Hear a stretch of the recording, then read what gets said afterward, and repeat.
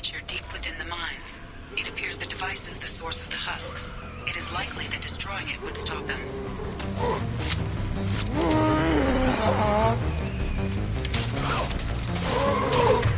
Contact. Firing a high impact shot.